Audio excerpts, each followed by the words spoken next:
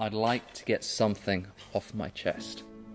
It's hard, I'm often perceived as one of the best. I'll carry more weight or swim in the ocean. But all in all, I'll mask my emotion. As there I sit in silence